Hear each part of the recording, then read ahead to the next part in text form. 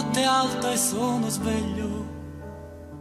Sei sempre tu. Buonasera, buonanotte cari amici di Rai 1. Melania Giglio, attrice cantante, anche cantante, vero Sì, Melania? sì. Ospite questa notte a sottovoce. Attrice, cantante, attrice soprattutto di teatro. Sì, assolutamente. Per scelta? Ma non per scelta, perché è stato una specie di vortice che mi ha travolta da subito eh, e poi non mi ha più lasciato andare. Perché l'incontro con Ronconi è stato un incontro determinante. Sì, sì, sì, sì, è stato un incontro molto forte, molto bello, molto importante.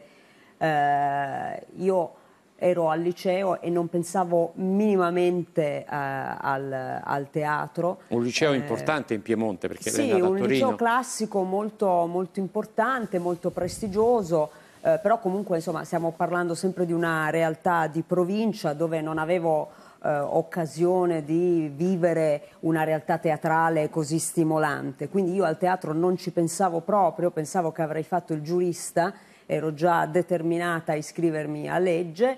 Eh, però considerato che facevo parte di una classe un po' vivace, un po' indisciplinata, il mio, il mio professore di italiano era eh, disperato eh, poiché non lo seguivamo molto. E per farci studiare l'Orlando Furioso ci fece vedere eh, in, in una piccola sala proiezione l'Orlando Furioso eh, diretto da Luca Ronconi. E io vidi eh, la grandissima Mariangela Melato che eh, che recitava Olimpia nell'Orlando Furioso di Ronconi ed ebbi una specie di folle, eh, folle sentimento, folle idea, per cui eh, dissi io questa cosa credo di poterla fare. E da allora, E da è allora cominciato non ho più smesso, non ho più smesso. Luca Ronconi che ci ha lasciato proprio qualche giorno fa. È stato la- il suo maestro, la sua guida. Sì, Guida professionale anche umana e spirituale o no?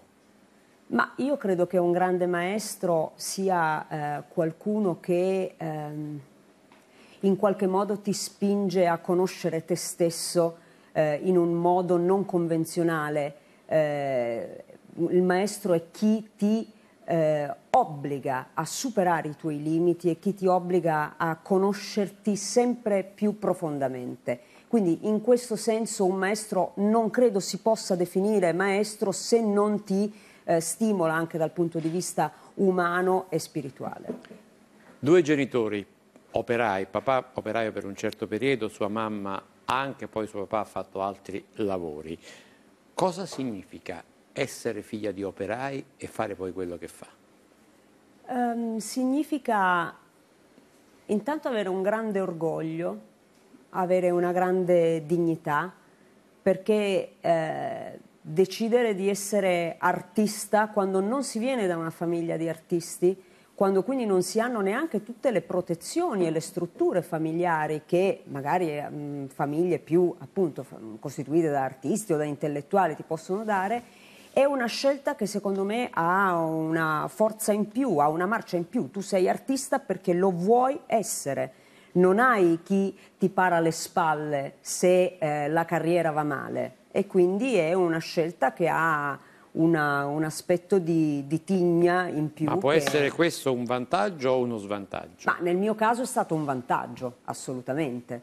Nel mio caso è stato un vantaggio perché io non ero protetta, quindi se avessi fallito avrei dovuto ammettere di aver fallito, tornarmene a casa in Piemonte con le pive nel sacco e rimettermi a studiare all'università, ma dopo averla lasciata, insomma, quindi... Perché lei ha frequentato una scuola per diventare attrice. Sì, io ho frequentato la scuola di Luca Ronconi perché dopo l- la vicenda dell'Orlando Furioso che le raccontavo prima, un giorno aprì la stampa, il giornale di Torino, e lessi che Ronconi faceva le audizioni per eh, la sua scuola di teatro, che era la scuola del teatro stabile di Torino, era il 1993.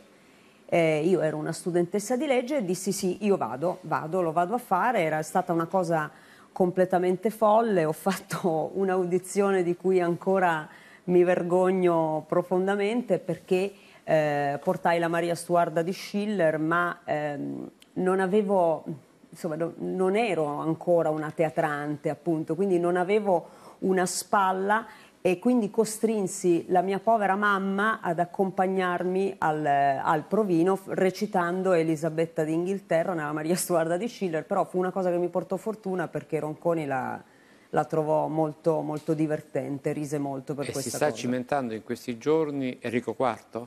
Sì, in questi giorni siamo in scena al Teatro Parioli di Roma con Enrico IV di Luigi Pirandello eh, per la regia e l'interpretazione di Franco Branciaroli, un bellissimo spettacolo che insomma, spero tutti vedranno. Insieme a Franco Branciaroli lei si può considerare un'attrice impegnata?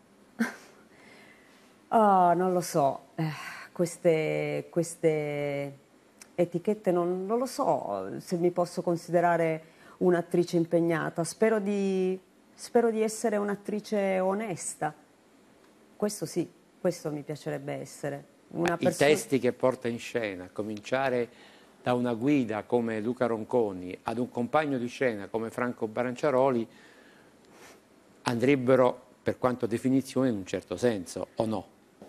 Eh, sì, però ecco, vede, è, è, una, è una, definizione eh, che non, non, rende totalmente giustizia al, al, mondo che la prosa rappresenta, almeno mh, mm, ecco, perché leva stretta insomma come un definizione. Po sì, un po' sì, perché in realtà appunto eh, Ronconi è stato un grande maestro, un grande innovatore, un grande scienziato del teatro, però era anche eh, la persona più divertente che io abbia mai conosciuto era anche una persona straordinariamente spiritosa, straordinariamente eh, vitale. Ecco, e io credo che eh, fare teatro oggi sia questo, sia eh, portare in scena una vitalità e un'onestà intellettuale, però ecco, la, la parola impegnato forse dà un po' la sensazione di qualcosa di noioso, invece insomma, credo che sia tutto molto più vitale.